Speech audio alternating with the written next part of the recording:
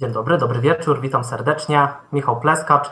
Dzisiaj opowiem o postaci czarownicy w literaturze na podstawie twórczości Stanisława Przybyszewskiego. E, bardzo dziękuję Stowarzyszeniu za zaproszenie i cóż, zaczynajmy. Było lekkie opóźnienie, ale, ale już jest wszystko w porządku, więc zaczynajmy. No więc opowiem o Stanisławie Przybyszewskim.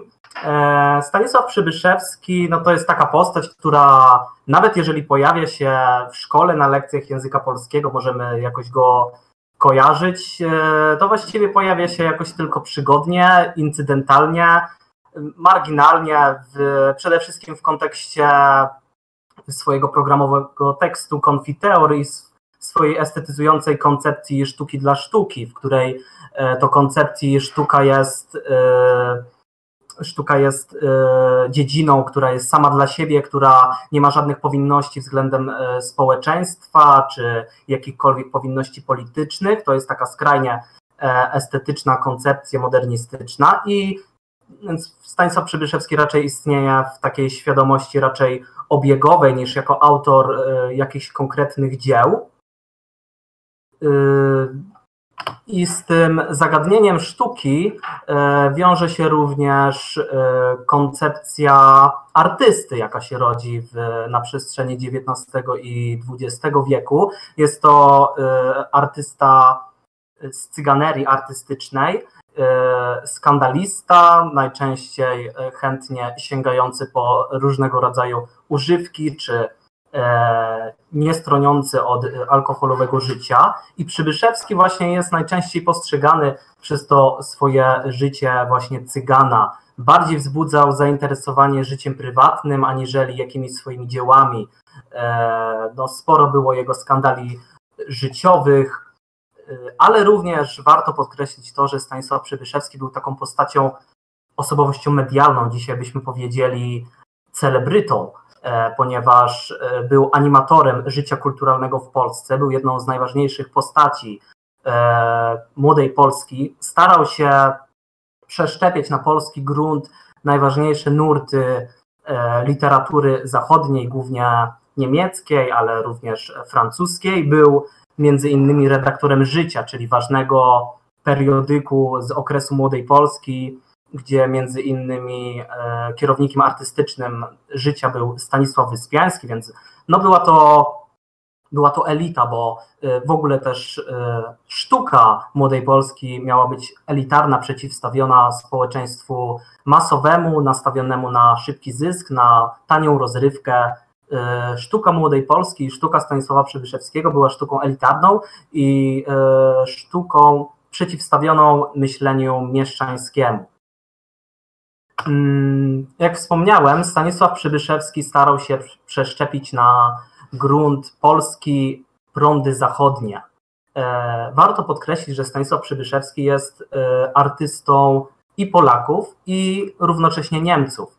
E, Stanisław Przybyszewski był postacią bilingwalną, był autorem bilingwalnym, czyli posługującym się jednocześnie dwoma językami biegle, językiem polskim i językiem niemieckim. E, wyjechał na studia do Berlina. E, nie ukończył tych studiów e, w każdym razie, ale prędko wsiąknął w artystyczne kręgi bohemy skandynawsko-niemieckiej. Zapoznał się tam z wieloma znaczącymi postaciami tamtejszej bohemy. Między innymi poznał Augusta Strindberga, którego możemy tutaj zobaczyć w interpretacji Edwarda Muncha po prawej stronie na prezentacji, czy również właśnie samego Edwarda Muncha poznał, e, na którego dzieła rzekomo wpłynął. E, widzimy na dole wszystkie trzy obrazy są właściwie autorstwa Edwarda Muncha. I tutaj po lewej jest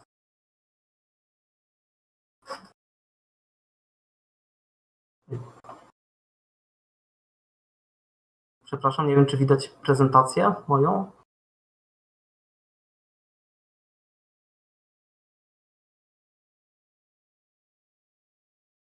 Nie wiem, czy teraz widać?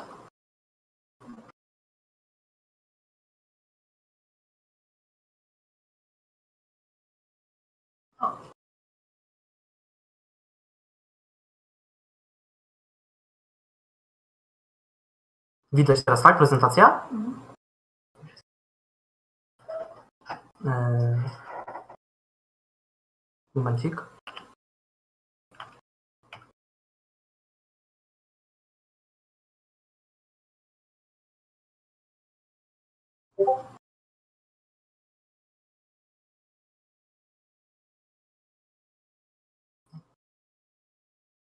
E, przepraszam, mam tutaj mało, mam mało problemy techniczne.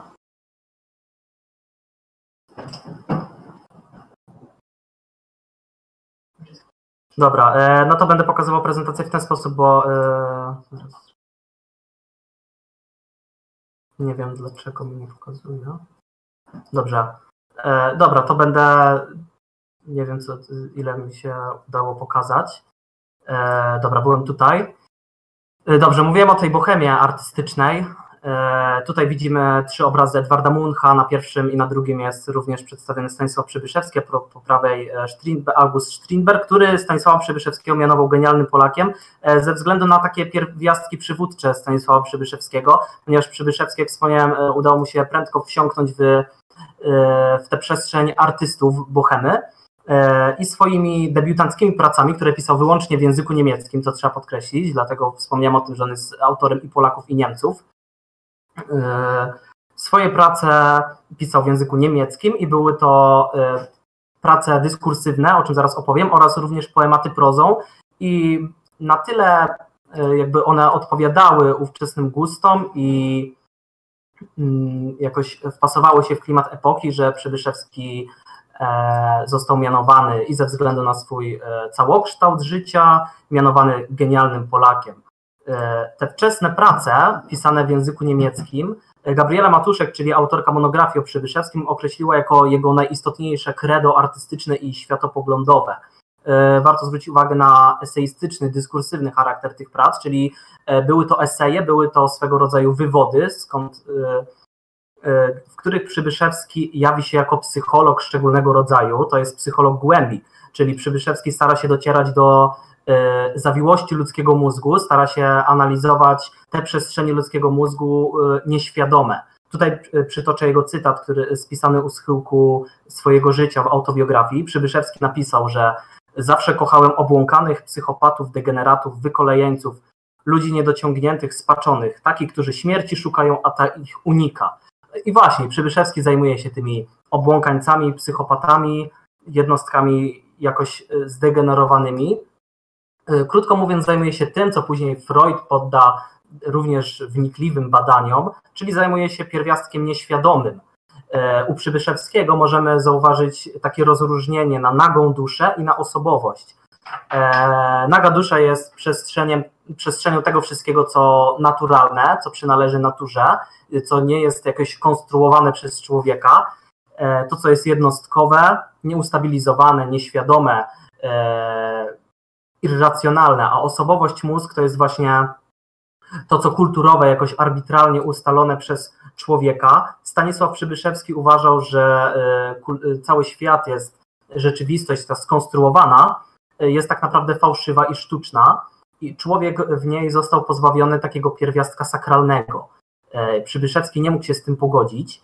E, to jest też charakterystyczne dla myśli na przykład e, starożytnych filozofii Dalekiego Wschodu, co później przejmie też Schopenhauer, bardzo ważny filozof dla Stanisława Przybyszewskiego, który będzie mówił o tym, że rzeczywistość jest takim płaszczem bogini Mai, czyli nie możemy dojrzeć tej prawdziwej strony rzeczywistości, tej istoty życia, tylko właśnie oglądamy to, co sztuczne, to, co konstruowane. O, podobnej, o podobnym rozdziale mówił również inny ważny filozof, do którego odwoływał się Przybyszewski, czyli e, Fryderyk Nietzsche, który tworzył podział na pierwiastki, e, na pierwiastek dionizyjski, który tutaj by odpowiadał w jakiś sposób nagiej duszy i pierwiastek apoliński, który odpowiadałby tutaj kulturze. E, Dionizos byłby symbolem tego właśnie rozpasania, tego co naturalne, co, czego nie sposób okiełznać. I właśnie Przybyszewski dostrzegał to, że dzisiaj nasz świat, rzeczywistość, to znaczy tamta, kiedy on to pisał, na schyłku XIX i XX wieku, e, rzeczywistość, nowoczesność, można powiedzieć, została wyzuta z zupełnie z jakiejś sfery sakralnej, z duchowej, z czym Przybyszewski jako typ, taki typ religijny, tak się go określa w literaturze przedmiotu, czyli autor, który w jakiś sposób mocno był w jakiś tak swoisty sposób religijny, nie mógł pogodzić się z tym odarciem świata z metafizyki. No, e, taki moment laicyzacji społeczeństwa, moment poczucia absurdu, nihilizmu, zrezygnowania światem, to są takie bardzo ważne wydarzenia końca XIX wieku, kiedy się rodzą takie tendencje dekadenckie. Przybyszewski się wpisuje w ten nurt i człowiek został właśnie tak skazany na metafizyczną samotność, z czym nie mógł się pogodzić. Dlatego szukał alternatywnych form docierania do tej sfery sakralnej i jedną z tych form był szeroko pojmowany satanizm. I tutaj dochodzimy do tych, no właściwie do esencji mojego dzisiejszego wywodu, mojej prelekcji. Przybyszewski jawi się właśnie nie tylko jako e, ten esteta, jako autor e, koncepcji sztuki dla sztuki, jawi się również jako okultysta, o czym też jakby wiele osób nie wie, no w szkole też się zupełnie o tym na przykład nie mówi. E, Przybyszewski został w Niemczech, jak wspomniałem, okrzyknięty genialnym Polakiem, ale został również okrzyknięty niemieckim satanistą.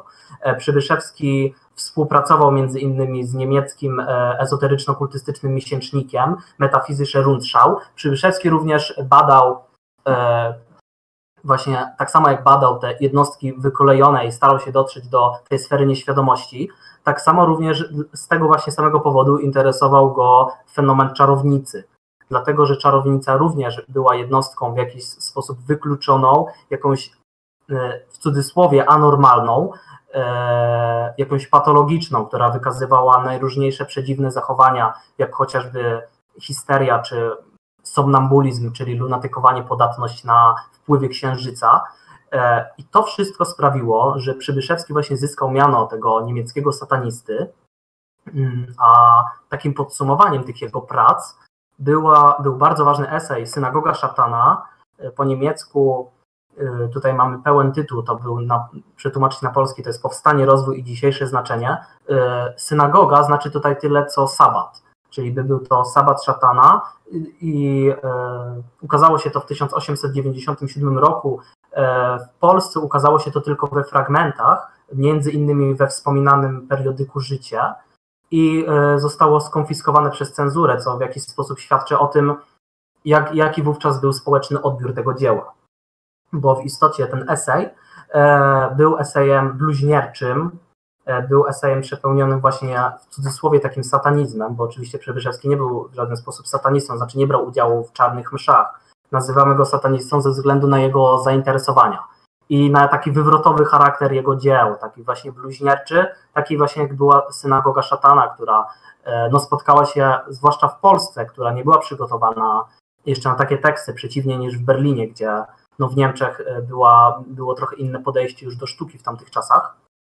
E, synagoga szatana była właśnie opowieścią o czarownicy, opowieścią o sabatach, i główną tezą e, tego eseju jest teza, którą Przybyszewski przejmuje od Micheleta, francuskiego filozofa, autora bardzo ważnej pozycji, romantycznej pozycji Czarownica z 1862 roku. I w myśl tej pracy satanizm jawi się jako konsekwencja rozwoju instytucji Kościoła, czyli jest to bardzo perspektywa antyklerykalna zwracająca uwagę na to, że wszystkie polowania na czarownice, jakie, jakie były, mm, ten satanizm, wszystko to było wynikiem tego rozwoju instytucji Kościoła. E, tego, że Kościół e, zabił instynkty, właśnie zabił tę nagą duszę, o której mówiłem, e, oddzielił człowieka od natury, od magicznych rytuałów E, i człowiek zatracił w ostateczności dzisiaj we współczesnym świecie ten pierwiastek sakralny.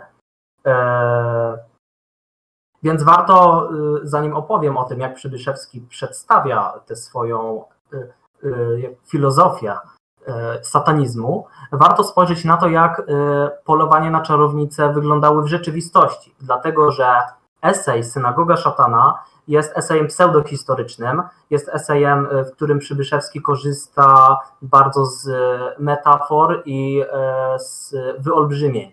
Przybyszewski na przykład podaje, że liczba ofiar e, inkwizytorów, liczba zabitych czarownic w tych momentach w wiekach średnich to było no, 8-9 milionów. To jest zdecydowanie liczba przesadzona. E, I zaraz tutaj opowiem, jak to wyglądało w perspektywie historycznej, bo eseju Przybyszewskiego pełnego sprzecznych wewnętrznych sprzeczności nie można traktować jako eseju historycznego. To jest tam dyskurs historyczny, on się jakoś częściowo pojawia, ale on się bardzo miesza z tym pierwiastkiem literackim. Polowanie na czarownicę, czyli zjawisko datowane mniej więcej od XIV do XVII czy XVIII wieku, e, no było nazywane jako właśnie witch hunt, czyli polowania, albo witch craze.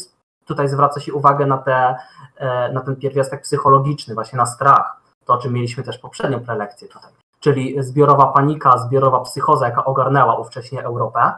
I właśnie Przybyszewski zwraca uwagę za Micheletem na ten rozwój instytucji Kościoła.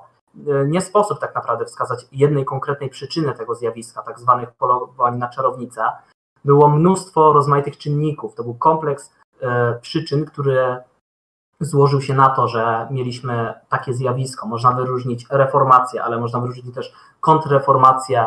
E, mieliśmy na przykład rozwój e, nowoczesnego miasta, rozwój kapitalizmu, korzystanie z narkotyków, narkotyzowanie się, to też również bardzo wpłynęło na to wyobrażenie satanizmu. Rozwój postaci szatana, jego symbolu, to wszystko wpłynęło na to, jak to wyglądało. Wojny religijne, wojny między protestantami, katolikami, ale też wojny polityczne. Również zjawisko było zróżnicowane zależnie od danego państwa czy obszaru. Na przykład, jak to dalej pokażę, najwięcej na przykład egzekucji wykonano na terenie dzisiejszych Niemiec, a na przykład w Rosji było tych polowań czy egzekucji zdecydowanie mniej. Więc e, wszystko zależało od tego, e, jak wyglądało e, klimat danego państwa, polityka.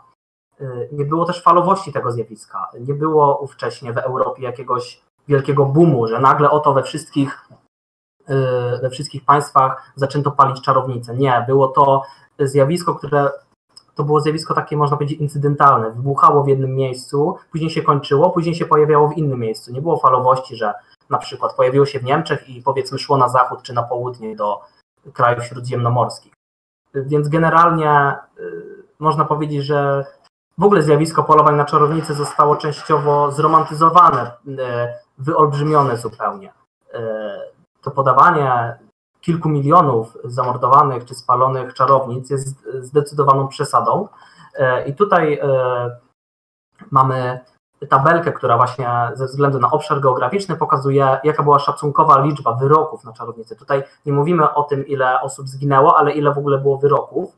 Oczywiście to są szacunki, bo e, no, sporo akt zaginęło. Nie sposób w pełni stwierdzić, jak to było. Niektórzy badacze podają na przykład nawet o 10 tysięcy mniej czy 5, ale mniej więcej takie szacunki występują i właśnie to, o czym mówiłem. Niemieckie landy w granicach Świętego Cesarstwa Rzymskiego mamy na pierwszym miejscu. 50 tysięcy to jest szacunkowa liczba wyroków na czarownicę i co ciekawe, Polska jest na drugim miejscu, 15 tysięcy. Polska, która była uznawana za ten kraj, y, państwo bez stosów, jest na drugim miejscu. Opowiem e, zaraz o Polsce, dlaczego tak sytuacja wyglądała. No dalej mamy Francję, Hiszpanię, Szwajcarię, mamy 9 tysięcy. Szwajcaria była uznawana długo za centrum polowań na czarownicę, a się okazuje, że jednak nie było tam tak źle jak w Niemczech. No i na samym dole mamy Węgry, Siedmiogród, Mołdawię i Rosję właśnie, w której też była specyficzna sytuacja. E, te wyroki, które pokazałem, e, te liczby 48% około tych e, zostało zakończonych śmiercią. Była to egzekucja, czyli około 60 tysięcy ofiar. No, oczywiście jest to dość sporo, ale nie jest to nadal kilka milionów, jak uważał Przybyszewski. I właśnie specyfika danego kraju istotnie wpłynęła na liczbę egzekucji. E, tak natomiast rozwija się to e, na przestrzeni lat.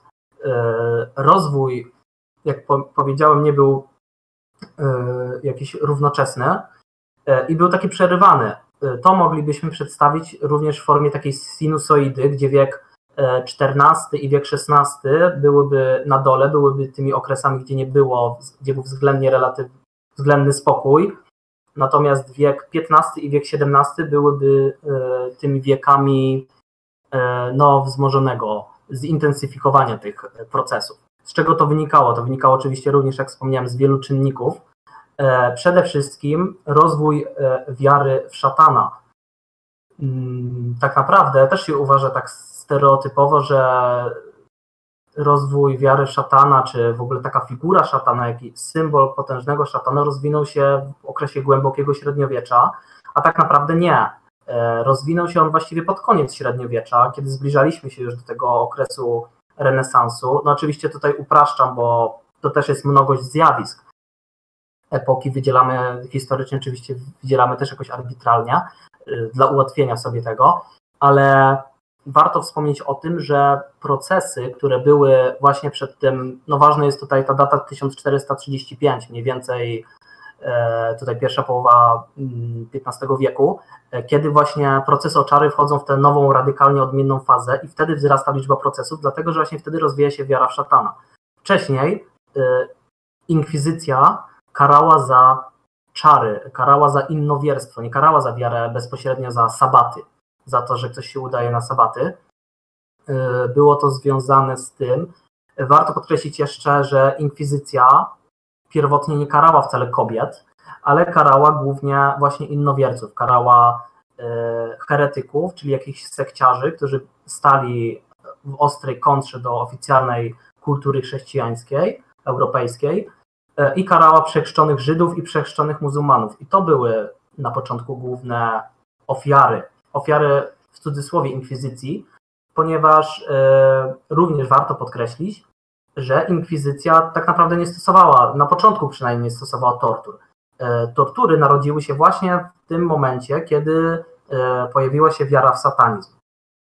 Kiedy mniej więcej był to 1435 rok do 1500 roku, również było kilka czynników. Przede wszystkim druk. Druk, wynalazek druku znaczy no ta technika druku Gutenberga pojawia się no, mniej więcej w połowie XV wieku i druk bardzo pozwolił rozprzestrzenić podręczniki demonologiczne, co przyczyniło się do wzrostu e, polowań na czarownicę. Słynny młot na czarownicę właśnie ukazał się mniej więcej w tym czasie i był no, jednym z bestsellerów. E, więc to była jedna z przyczyn, dlaczego, e, dlaczego mieliśmy wzrost tego zjawiska. Również właśnie dlatego, że pojawiało się coraz częstsze oskarżenie o satanizm. Później mamy znowu względny spokój, jest to XVI wiek i tutaj również jest kilka przyczyn, dlaczego nagle mamy okres relatywnego spokoju, kiedy już przecież pojawiły się te podręczniki. No wynika to znowu z e, literatury. W tym momencie nie drukuje się e, podręczników raczej, odchodzi się od tego. E, Młotna czarownice w latach 1520 mniej więcej do 1570 w ogóle nie był drukowany. On był drukowany właśnie później, a wynikało to z tego, że jak wspomniałem, mamy tutaj okres renesansu, okres e, rodzenia się takiego sceptycyzmu. Pojawiają się myśliciele, którzy kwestionują te działania inkwizycji, stwierdzając, że no nie jest to zgodne ani z, ani z Biblią, ani nie jest to zgodne z naturą człowieka czy z rozumem. Więc pojawia się taki sceptycyzm, pojawia się ten humanizm renesansowy, i rzeczywiście jakoś zaczyna się odchodzić od tego, od tego mm, polowania na czarownicę. I również mamy kwestię reformacji, 1517 rok, czyli ta taka symboliczna data reformacji. E, zwraca się uwagę na to, że reformacja była przyczyną e, i kontrreformacja, że to zaogniło te y, polowania. Tak, ale z drugiej strony też na początku Y, trochę zahamowało, dlatego że no, wszystkie elity europejskie zauważyły, że reformacja była takim wstrząsającym wydarzeniem, które rozbiło tę jedność y, chrześcijaństwa.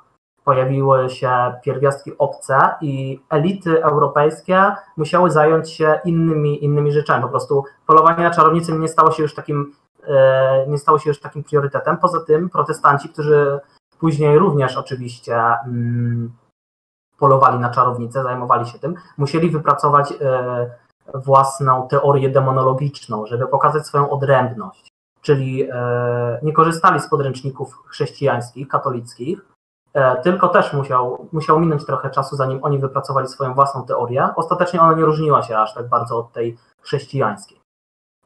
No i później widzimy znowu wzrost, to jest właśnie przezwyciężenie tego sceptycyzmu, to jest właśnie już wypracowanie tej teorii demonologicznej. Najgorsze lata to jest mniej więcej 1610-1630 rok. Wtedy też jest mnóstwo najróżniejszych przemian politycznych i społecznych, e, no walka protestantów z katolikami, przejście do kultury kupieckiej, jest cała masa przyczyn, które wpłynęły na to. Więc e, nie jest to taki po prostu antyklerykalizm, jaki sugeruje Przybyszewski, że po prostu tylko instytucja kościoła. Co więcej, w tych latach y, polowania na czarownice przechodzą pod jurysdykcję świecką. To autorzy świeccy już piszą te podręczniki. Inkwizytorzy, którzy działają wówczas, są już e, no na przykład prawnikami, nie są, e, nie są duchownymi w żaden sposób. Więc paradoksalnie te najgorsze tortury, to wszystko e, wydarzyło się, kiedy już polowania na czarownice były organizowane przez władzę świecką, a nie przez władzę kościelną. I tutaj później widzimy już to wycofanie się protestów. I teraz właśnie jest kwestia tego satanizmu, to znaczy hmm, zaczęto oskarżać kobiety o to, że udają się na, na sabaty, że yy, są wyznawcami satanizmu, szatana. To było najgorsze wykroczenie, jakie mogło być. I dlatego z tym tak bardzo walczono, bo wtedy kobieta stawała się heretyczką, yy, dokonywała apostazji, bo yy, tak symbolicznie, bo przecież yy, odłączała się od kościoła. Yy, I właśnie wtedy zaczęły się te najgorsze tortury. Kiedy oskarżano kobiety, czy w ogóle wcześniej ludzi o czary, e, mężczyzn i kobiety, no to nie, jak powiedziałem, nie było jeszcze aż takich, aż takich tortur. To wydarzyło się dopiero później. Mm, władza świecka, można powiedzieć w cudzysłowie, stworzyła na torturach sabaty. Tortury sprawiały, że kobieta zaczęła po prostu wymyślać.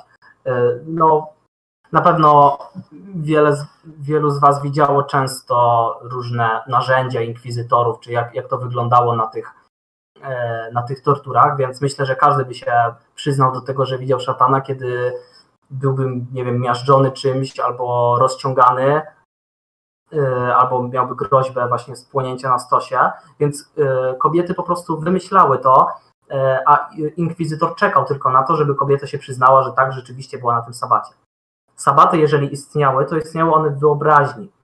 Była moc wyobraźni, kobiety wyobrażały sobie, często też te kobiety, które zeznawały, były to kobiety schorowane albo stare, e, albo chore psychicznie, albo zdolne na przykład do mitomanii. Więc to wszystko był wymysł, e, wymysł wyobraźni połączony z, z groźbami. Do tego dochodzi jeszcze kwestia narkotyków, E, przetrwały niektóre receptury maści, okazało się, że one zawierają atropinę, która wywołuje halucynacje, zaburzenie świadomości. E, również niektórzy e, etnologowie, którzy badali te rzekome sabaty, na które nie ma żadnych, żadnych dowodów, znaczy nie ma właśnie dowodów na to, że kobiety gromadziły się rzeczywiście w takie zgromadzenia. Heretycy, owszem, gromadzili się w takie zgromadzenie, tam katarowie czy jacyś, jacyś gnostycy, natomiast kobiety, no nie ma żadnych, żadnych dowodów na to historycznych, a jeżeli już się gromadziły, to być może wyznawały jakiś pogański kult płodności, jakiejś matki ziemi, natomiast to zostało po prostu utożsamione z satanizmem. Wreszcie sabat jawi się jako inwersja, e, to zwłaszcza było wśród chłopstwa uciskanego, tym porządkiem feudalnym. Oni wyobrażali sobie sabat jako taki odwrócony porządek społeczny.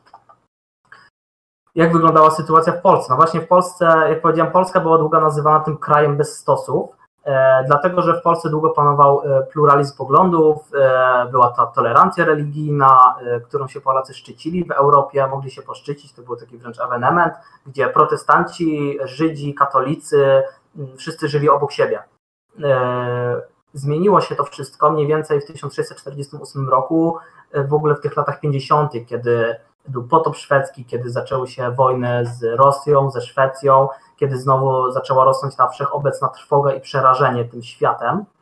E, więc zjawisko było to bardzo opóźnione, mniej więcej o 100 lat później wystąpiło to zjawisko w Polsce. I ta liczba ofiar, dlaczego w Polsce było, było, było tak wiele ofiar, Mm, raz, że również e, było to załamanie tej jurysdykcji kościelnej, również władze świeckie się tym zajmowały. E, tortury w Polsce no, były rzekomo dosyć często stosowane i brutalnie. E, stąd też mamy tą rzekomą liczbę ofiar, około 10 tysięcy, chociaż niektórzy autorzy się z tym nie zgadzają, zmniejszają tę liczbę nawet o połowę. Nawet gdyby ją zmniejszyć o połowę, to i tak jest to więcej niż na Wyspach Brytyjskich czy w Skandynawii. E, wpłynęło to przede wszystkim na to, że właśnie w Polsce była ta silnie rozwinięta teoria satanizmu. To, co było w Niemczech. W Niemczech widzieliśmy tak ogromny wzrost z tego względu, że tam po prostu wprost wierzono w satanizm. W Rosji na przykład w ogóle niemal nie wierzono w jakieś sabaty i tam dlatego mamy tak mało ofiar. A w Polsce są wyraźnie te wpływy niemieckie, które przyszły do nas z opóźnieniem, ale, ale jednak jakoś to przeniknęło. Mm, więc Polska właściwie jest jedynym krajem w Europie tej środkowej, środkowo-wschodniej, y, gdzie wystąpiła taka sytuacja. W tych, tych innych państwach raczej, raczej, raczej tego tak nie było. Więc gdyby podsumować i zaraz to skontrastuję z Przybyszewskim, y, jak wspomniałem, były rozmaite przyczyny tego zjawiska. Była i mizoginia, czyli niechęć czy strach przed kobietami, konflikty religijne, społeczne, wojny, te walki z protestantami, ale również w ogóle rewolucje społeczne. Y, jak wspomniałem, wiara w satanizm przyczyniła się przede wszystkim do zaostrzenia tych polowań. No i zjawisko przyniosło zdecydowanie mniej ofiar niż się uważa. Nie było to, nie był to rząd kilku milionów, a kobiety nie były wcale jedynym celem. Oczywiście również później już były to kobiety, ale wcześniej na przykład inkwizycja, jak wspomniałem, zwalczała heretyków w rodzaju na przykład Żydów czy muzułmanów. Stąd też mamy tytuł e, eseju Przybyszewskiego Synagoga Szatana. Właśnie to, że synagogę utożsamiono z sabatem, to jest mm, no, skutek tego antysemityzmu, jaki wtedy wystąpił. Jakiegoś takiego strachu przed Żydami. Mm. No i wracamy do Przybyszewskiego. Do postaci czarownicy, jaką przedstawia Przybyszewski u siebie. Jak wspomniałem, Gabriela Matuszek mówiła, że te wczesne prace Przybyszewskiego to było jego E, takie artystyczne i światopoglądowe credo. No właśnie, Przybyszewski bardzo często powracał do tych prac, właściwie powtarzał samego siebie wiele razy. To, o czym napisał na początku, pisał o tym również u schyłku życia i doskonałym przykładem jest właśnie jego ostatnia powieść Il Regno Doloroso z 1923 roku, a druk książkowy 1924. Jest to jego ostatnia powieść, właśnie taka w cudzysłowie satanistyczna, E, bardzo podobna właśnie do tej synagogi szatana, do tego eseju, o którym mówiłem. E, jest to polemiczny dialog właśnie z tradycją chrześcijańską. Raz jeszcze Przybyszewski występuje jako taki przeciwnik Kościoła. No i jest to opowieść właśnie o czarownicach, o sabatach, o społecznym, religijnym, kulturowym wykluczeniu. Kobieta jawi się właśnie tutaj jako wykluczona ze społeczności, jako uciskana przez tę kulturę chrześcijańską, patriarchalną, tradycyjną w cudzysłowie. I Przybyszewski we wstępie napisał ważną rzecz. Napisał, że w całej powieści posługiwałem się o ile możliwe językiem diabologów. Właściwie jest ta quasi powieść jak najsumienniejszą pracą źródłową. No właśnie, czyli znowu mamy ten żywioł, y, ten dyskursywny żywioł, ten wykładowy. Znaczy Przybyszewski y, tworzy powieść, ale tak naprawdę tworzy ją na podstawie różnych materiałów źródłowych, różnych takich y, doniesień historycznych. E, właśnie z epoki, z XVII wieku, bo Przybyszewski no tutaj e, właściwie umiejscawia czas akcji, bo w 1610 roku, czyli właściwie w tym momencie szczytowym, jak pokazywałem tutaj na tabelce, e, rama fabularna tej powieści to jest słynny proces czarownic, jaki przeprowadził Delangre, była to rzeczywista postać, on właśnie był jednym z tych świeckich inkwizytorów, o których mówiłem, i on wraz ze swoim siostrzeńcem Saint Croix przybywa do baskijskiej prowincji, położonej wśród Pirenejów, wśród gór, aby wyplenić tamtejszy satanistyczny kult. Dostałem takie zlecenie i tam zbierają się sędziowie, a oni łapią te czarownice i oni je sądzą. To jest e, jak wygląda powieść. I tak wygląda to na początku, bo mm, Przybyszewski z początku pokazuje to jako taki prosty podział, to znaczy inkwizytorzy jako ci dobrzy, którzy tam walczą z czarownicami, czarownice są złe. E, podstawowy problem w powieści jest kwestia sabatów, to znaczy czy czarownice udają się na sabaty w sposób cielesny, czy po prostu czy tam chodzą, czy latają, czy y, wyprawiają się astralnie. Astralnie, czyli y, potrafią wydobyć duszę z ciała, oczywiście cały czas żyjąc i zachowując jakąś, jakąś świadomość, i udają się tą duszą po prostu tylko e, na sabat. Przybyszewski e, o tych astralnych wyprawach również wspomniał we wstępie do powieści i napisał tak. E, czarownicy tutaj e, utożsamił z medium. Medium mogło wyłonić swoje astrosoma, czyli ciało astralne, ze swego ciała, nie potrzebowało nawet ku temu żadnych maści i przyborów. Może to tylko dla początkujących czarownic było potrzebne. Dla niej starczyła chwila snu, by mogła oponować doszczętnie swoje astrosoma, kierować im według swej woli, wysyłać je na setki mil wokoło. Czarownica medium żyła ustawicznie na dwóch platformach, fizycznej i astralnej. Granica między nimi była tak płynna i niewidoczna, że czarownica nawet sprawy sobie z tego nie zdawała, na jakiej się w danej chwili znajduje. I w powieści znajdujemy wiele przykładów tych astralnych podróży, bo prędko się okazuje, że kobiety udają się na te sabaty rzeczywiście astralnie, co z kolei koliduje z chrześcijańskim dogmatem zmartwychwstania, że dusza może przed już za życia opuścić ciało. I jak wspomniałem, nie ma żadnych e, dowodów na to, że sabaty rzeczywiście były organizowane, ale Przybyszewski jest jednak tym typem człowieka, który w sabaty wierzył. On wszystkie źródła, które znajdywał, on głównie siedział tam w bibliotece niemieckiej w Berlinie, w Królewskiej Bibliotece i tam prowadził swoje wnikliwe badania. E, znajdował wiele przykładów mm, sugerujących, że rzekomo te sabaty istniały. To jeszcze wspomnę, bo o tym nie powiedziałem, e, te szacunki, że na przykład e, zamordowano czy zgładzono 10 milionów czarownic, one wynikają też z tego, że sami inkwizytorzy również o tym pisali w ten sposób. To znaczy, żeby wywołać trwogę, powiedzmy przede wszystkim ludu, wieśniaków. Oni to robili specjalnie, żeby ludzie rzeczywiście się bali, czuli jakąś trwogę. Sami fałszowali te swoje rzeczywiste dokonania. Mm, I Przybyszewski wierzy właśnie w te sabaty. Bardzo je tak dosyć trafnie charakteryzuje również w tym wstępie do powieści. Pisze, że liturgia sabatu to synkretyczne zlanie się wszystkich satanistycznych i falicznych obrzędów pogańskich. Po pogańskiej Hekaty odziedziczył chrześcijański szatan piersi niewieście spadający mu na brzuch. W sabacie czarownic żyją przechowywane z największym pietyzmem parodystyczne msze katarów, sekty wudu, msze tak potwornie bluźniercze, taką nienawiścią ku kościołowi dyszące, że wierzyć się nie chce, iżby mózg ludzki tak niesłychane blasfemie zdołał wymyśleć. Dla badacza porównawczej historii religii, a zwłaszcza sekt, przedstawia sabat czarownic niezmiernie obfite źródło. No, Przybyszewski korzystając tutaj z religioznawstwa porównawczego, czyli takiej e, tendencji charakterystycznej jeszcze dla XIX wieku, właśnie zauważa, że sabat jest takim zjawiskiem synkretycznym, to znaczy, że znajdujemy tam połączenia różnych wierzeń. Jest taką wypadkową różnych wierzeń pogańskich i chrześcijańskich. E, no i przejdźmy do tej właśnie postaci czarownicy, jaką Przybyszewski przedstawia, chociaż już trochę tutaj o tym wspomniałem.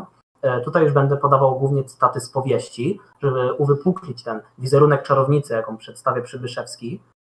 Już na początku powieści jeden z inkwizytorów mówi tu prawie każda kobieta, wszystko jedno, czy jakaś stara wiedźma, czy młoda i piękna dziewczyna, a bywają tu i to bardzo często dziewczęta niezwykłej urody. Każda w ogóle, można powiedzieć, jest czarownicą. W każdym razie o tyle, że każda wyznaje diabła i jest jego służebnicą.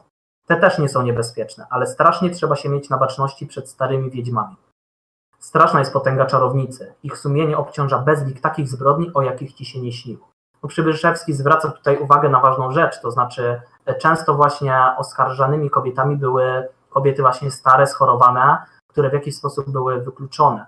No kobieta właściwie w tamtych czasach nie miała jakiejś odrębności, to znaczy najpierw należała do ojca, później była mm, należała do męża. Jeżeli zyskiwała niezależność, no to zyskiwała ją właściwie będąc wdową, ale kiedy była już wdową, no to właściwie jej status społeczny był taki trudne do zdefiniowania, to znaczy, a zwłaszcza jak była stara, bo starość jest takim szczególnym momentem przejścia, to znaczy już prawie zbliżamy się do śmierci, ale jeszcze żyjemy i wtedy to też może budzić jakieś wątpliwości. No oczywiście w tamtych czasach wszystko od razu utożsamiano z satanizmem, e, więc tutaj Przybyszewski zwraca na to uwagę właśnie, na to wyeksponowanie tego, tych, tych, tego rodzaju wiedźm. No i w powieści pojawia się kilka czarownic. Jedną z nich jest Nekato, straszna Nekato, która ona na sabatach morduje noworodki. Jest może najniebezpieczniejszą czarownicą. E, ona jest szczególną postacią, to znaczy jej kategoria płciowości jest taka rozmyta. Ona z jednej strony jest mężczyzną, a z drugiej strony kobietą. Tutaj podam cytat z powieści. Bóg chciał napiętnować te zakały rodu ludzkiego i odarł ją z wyraźnej płci. Nekato nie jest ani mężczyzną, ani kobietą. I co ciekawe, ten opis właśnie taki androgeniczny, taki łączący w sobie pierwiastki męskie i kobiece, on jest bardzo charakterystyczny dla różnych wyobrażeń szatana. Tutaj po prawej stronie właśnie widzimy Bafometa z kobiecymi piersiami. To jest właśnie też taki typowy przykład tego, jak sobie wyobrażano szatana, który był taką syntezą tych dwóch pierwiastków. E, tutaj opis e, właśnie szatana z powieści. Piersi kobiece, ramiona androgeniczne. To symbol ludzkości rozdartej na dwa pierwiastki. Druga z czarownic, jaka się na przykład pojawia, to jest Dela, Dela. Jest to bystra wiedźma, która pragnie zaskarbić sobie przychylność sędziów przez udzielanie im pomocy cennych wskazówek, bo to o tym nie powiedziałem. Ci inkwizytorzy, którzy występują w powieści, oni właśnie rzekomo są po tej stronie katolickiej, chrześcijańskiej, e, po tej stronie prawa w cudzysłowie, a w istocie pragną oni dosięgnąć tajemnic bytu, e, pragną wkroczyć w tę sferę okultystyczną i właśnie poznać te tajemnice sabatów. I ta Della Ralde jest właśnie taką wiedźmą, która im to w jakiś sposób pomaga w tym. Tutaj jest paradoks. Znaczy, z jednej strony mężczyźni zwalczają kobiety, ale z drugiej strony wiedzą, że to kobieta ma tę moc i potęgę i jest tą strażniczką tych tajemnic szatana. Ona zdumiewa właśnie z y, praktyk, znajomością praktyk czarodziejskich, no, zwodzi mężczyzn, to też jest bardzo charakterystyczne dla takiego myślenia mizoginistycznego, gdzie kobieta właśnie zwodzi mężczyznę, jest tą kobietą, która przynależy do tej sfery erotycznej, cielesnej wyłącznie, przeciwnie do mężczyzny, który odpowiada za rozum, y, za jakieś pierwiastki duchowe, a kobieta jest jakby tak sprowadzona do sfer tylko biologicznych, seksualnych. I to też jest bardzo mocno wyszczególnione. E, no i właśnie Przybyszewski przedstawia również bardzo bogacie ten sabat w powieści, w której, jak wspomniałem, on, on wierzył, że te, te sabaty rzeczywiście się pojawiały. Mm, on jest właśnie taką przestrzenią, jakby powiedział Przybyszewski, przestrzenią chuci, czyli przestrzenią e, takiej e, rozbuchanej cielesności. Tutaj mamy taki większy opis sabatu.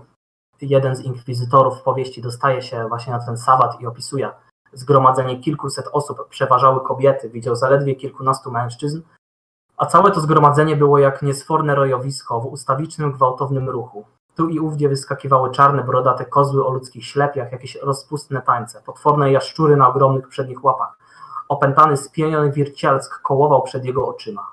Wśród nowych opętańczych wrzasków wśród straszliwych konwulsji wywołanych trującym dymem, wśród rozszalałych, obłąkanych wirowań wokół siebie, przy czym kobiety wyrywały sobie włosy, rozrywały paznokciami piersi, rzucały się jak rozbestwione zwierzęta na siebie, zakończyła się ta najuroczystsza msza.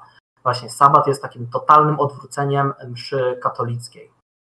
Więc gdyby tak yy, zebrać te wszystkie elementy i zobaczyć, jak Przybyszewski przedstawia czarownicę, jak ją przedstawił w synagodze szatana, o której mówiłem, i jak ją przedstawiał w Il Regno Doloroso, w swojej ostatniej powieści, która tak naprawdę jest takim sfabularyzowanym e, zbiorem dokumentów.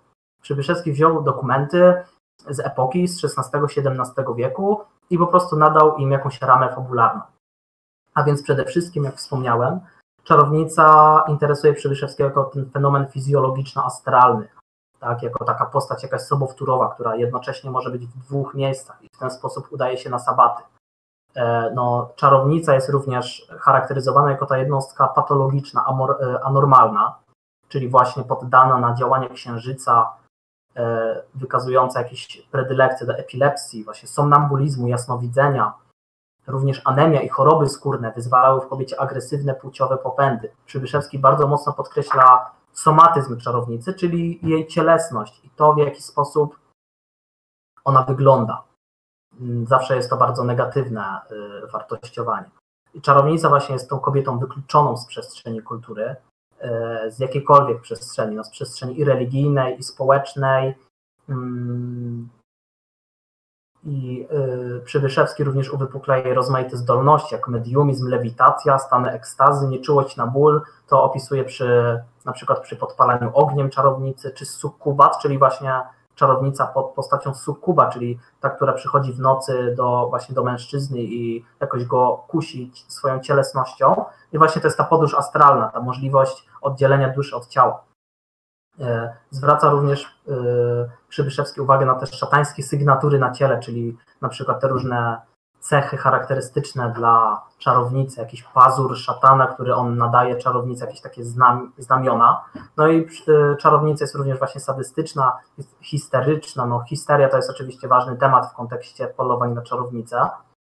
I tutaj jeszcze y, również podam dwa wyimki z, y, z innych dzieł Przybyszewskiego, bo jak wspomniałem, no, on bardzo często siebie powtarzał. Podobne rzeczy znajdują się właśnie w synagodze szatana. Tutaj Przybyszewski tak pisze, czarownica rodzi się już czarownicą. Od samego początku są wszystkie zasadnicze, normalne stosunki w niej odwrócone. Cała jej dusza jest jakby na opak. Właśnie Przybyszewski podkreśla mm, to odwrócenie, totalne odwrócenie całego porządku chrześcijańskiego, naturalnego.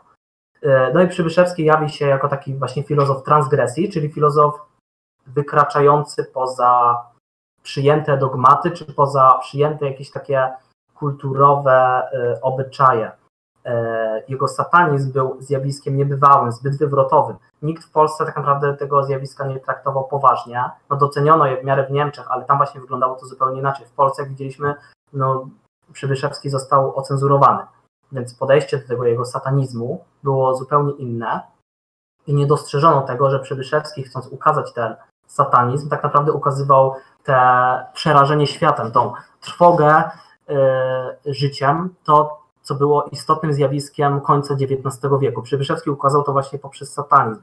On nie był wyznawcą szatana, on właśnie był e, autorem bardzo e, religijnym, pod, pod względem takim wręcz chrześcijańskim. Znaczy szatan dla niego, nawet jeżeli jest wyzwoleniem, to jest wyzwoleniem chwilowym, to jest takie upojenie się życiem, tak jak upojenie alkoholowe czy narkotykowe. Szatan nie może być ostateczną odpowiedzią na ten absurd rzeczywistości. Dlatego Przybyszewski był, warto zwrócić uwagę, że Przybyszewski był tą postacią w Polsce, która przełamywała te konwencje. Właśnie jego teksty są bardzo transgresyjne, czyli takie przełamujące konwencje, przełamujące schematy kulturowe i pod tym względem chociażby warto docenić Przybyszewskiego. Yy, właśnie wystąpił przeciw temu myśleniu takiemu mieszczańskiemu. Yy, Chciałbym jeszcze tylko podkreślić, że Przybyszewski oczywiście nie był jedyny, który wówczas interesował się tym okultyzmem. E, Przybyszewski trafił na taki podatny grunt, kiedy mnóstwo osób interesowało się okultyzmem. W końcu XIX wieku, na początku XX, kiedy rodziły się różne stowarzyszenia, kiedy pojawiła się na przykład postać Heleny Bławackiej, e, która była również twórczynią takiej myśli filozoficzno-religijnej, takiej syntezy religii. Mm, no, Przybyszewski wpisał się bardzo dobrze w te w te myśli religijne ówczesne. I jeszcze, jeżeli mówimy o takich autorach jak Przybyszewski, który jest, jest kojarzony głównie ze sztuką, w szkole nie mówi się na przykład o tych jego satanizmach, to mam tutaj trzech autorów, którzy również nie są zupełnie kojarzeni z takimi tematami, a o takich tematach pisali.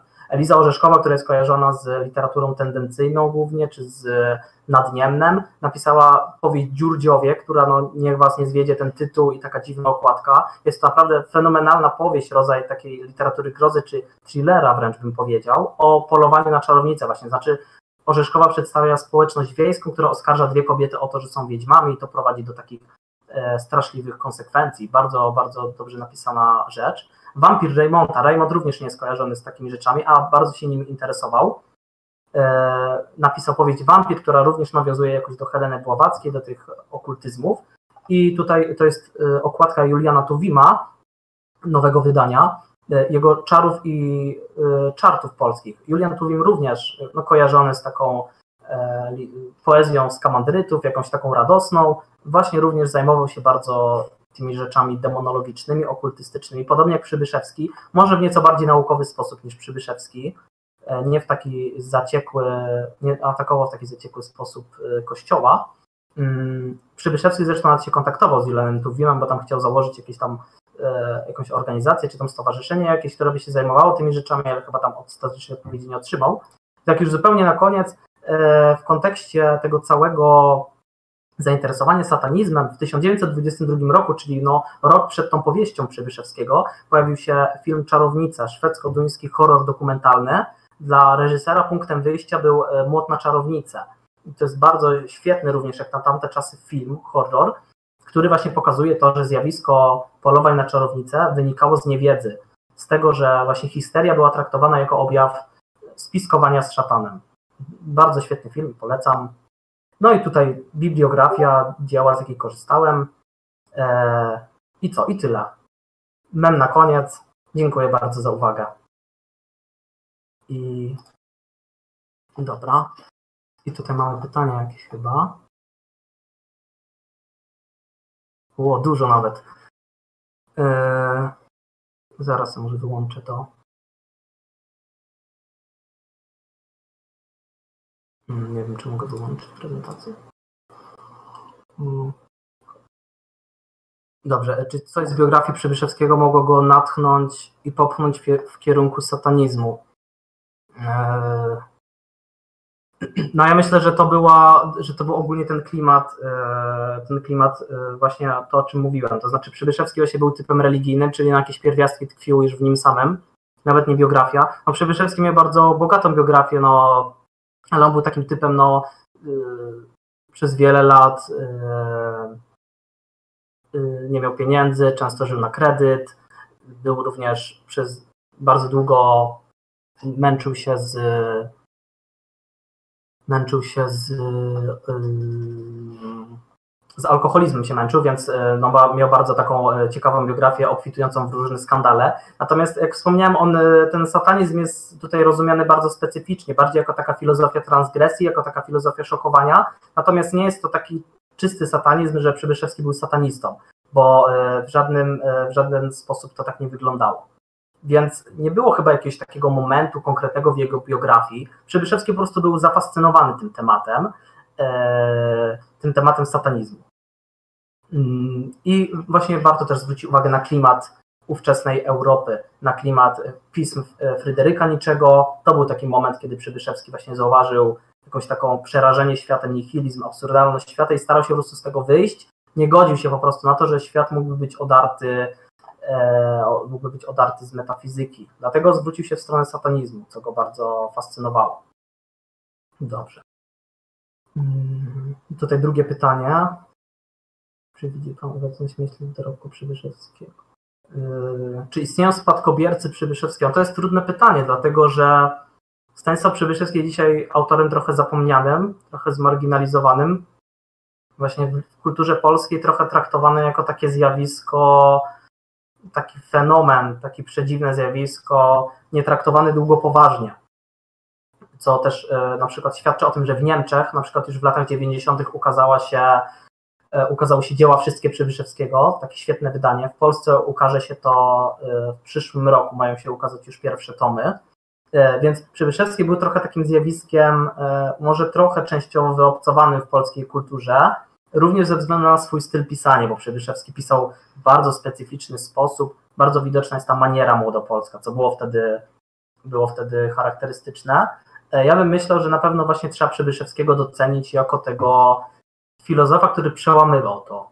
to przełamywał, torował w Polsce ślady yy, tej literatury takiej, jaką mamy dzisiaj nawet, takiej zupełnie odważnej. No dzisiaj nikt by nie, nie konfiskował literatury jakiejś satanistycznej. Każdy może wydawać co chce, tak? Mamy wolny rynek, no nawet dzieła jakieś skrajne są dzisiaj publikowane we współczesnej literaturze. Właściwie w dzisiejszym świecie nikogo już nic nie szokuje, a Przybyszewski był tym, który właśnie miał odwagę wystąpić przeciwko temu myśleniu mieszczańskiemu, więc tutaj bym widział to, to, to, yy, to jakieś usytuowanie Przybyszewskiego we współczesności i to jego dokonanie. Zresztą Przybyszewski właśnie może kusić dzisiaj również jako pisarz literatury grozy na przykład, czyli właśnie ta jego powieść Il Regno Doloroso, która dzisiaj może być czytana, no może ona już trochę trąci myszką, ale czyta się ją całkiem dobrze jest taką opowieścią grozy. Przybyszewski tam się jawi jako taki fantasta właściwie, jako literat grozy.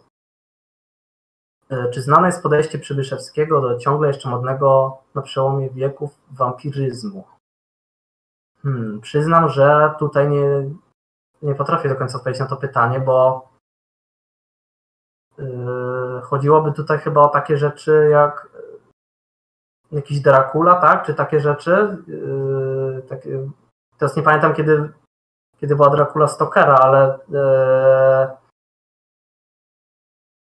jeżeli chodzi o wampiryzm, rozumiany na przykład w sposób yy, znaczy wampiryzm, no, ja bym myślał yy, tutaj przychodzi mi na myśl fan fatal na przykład, czyli e, właśnie kobieta demoniczna, też jakaś wampirzyca, no to Przybyszewski wspominał o tym w takim kontekście na przykład. To chyba było bodajże w jego, w jego opowiadaniu De Profundis, w takim również e, obrazoburczym opowiadaniu, gdzie kobieta jest chyba, bodajże chyba tam jest nazywana właśnie jakimś wampirem, czy jakąś istotą demoniczną, ale to by było takie, to nie, by było, nie byłoby bezpośrednie nawiązanie do wampiryzmu, więc myślę, że Przybyszewski się tym nie interesował, e, znaczy nie pisał o tym, może się tym interesował, ale, ale nie, nie spotkałem się z tym, z tym akurat. Może, może, też, może też nie wiem, no nie znam całej twórczości Przybyszewskiego, znam tam jego najważniejsze rzeczy w miarę biografię, ale, ale nie, to też bym musiał sprawdzić. To jest bardzo w sumie ciekawa rzecz, więc dziękuję za to. to w, sumie, w sumie to sprawdzę. E, no właśnie, tak jak wspominam o tej literaturze grozy, jakieś, jakieś tytuły warte przeczytania. Mm, no jeżeli chodzi o Przybyszewskiego, to właśnie on dzisiaj może fascynować jako, może interesować jako literat grozy. E, ja myślę, że warto by było polecić też rzecz, którą e, my tu wydaliśmy niedawno, czyli Krzyk Stanisława Przybyszewskiego. Jest to świetna powieść, ona nie traktuje akurat o, o satanizmie, ona traktuje bardziej e, o motywie sobowtóra. No on tam się też pojawiał w Il Regno Doloroso jako te podróże astralne, ale tutaj właśnie Przybyszewski, e, no to jest w ogóle Krzyk, jest powieścią uznawaną za najlepszą powieść Przybyszewskiego, więc ja oczywiście ją bardzo serdecznie polecam. My ją wydaliśmy w naszym wydawnictwie Golem, ją wydaliśmy w takiej e, w takiej formie ciekawej, innej, takiej awangardowej, trochę nieco postmodernistycznej, takiej uwypuklającej te chorobę psychiczną bohatera, bo to jest taka powieść trochę o chorobie psychicznej, trochę o motywie sobowtóra, o sztuce też, więc mógłbym polecić tutaj, e, mógłbym tutaj polecić na pewno tę powieść, jeżeli chodzi o literaturę grozy. Dobrze. Dziękuję bardzo. Przepraszam za te problemy techniczne. E, dziękuję wszystkim za wysłuchanie i do widzenia.